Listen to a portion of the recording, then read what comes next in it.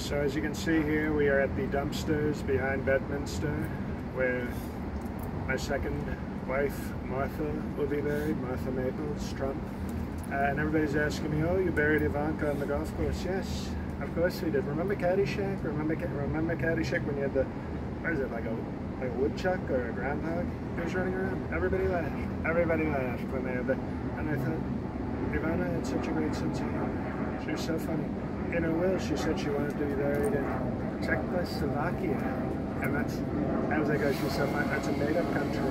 That's a made-up country, Not only fake. We don't even use checks anymore. We do other things for payment. We declare bankruptcy, and that's how we get strong money. So I knew Ivana had a great joke, so I said, you know what, Elvira, we'll bury you at the golf course. It can be like, imagine you're going through Bedminster, and then instead of a groundhog, you're about to swing, and up pops Ivana's skeleton. You know, and they start playing the song from Caddyshack.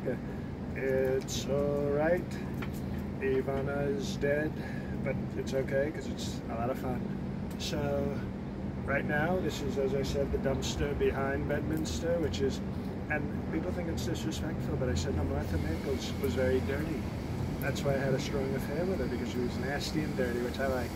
And I thought a great tribute is to put Tracy Trump's mom, Michelle Maples, in a dumpster. So hopefully she will be at the stairwell like I requested very soon and I'll have a very respectful dumpster burial for Mandy Maples and we'll see what happens.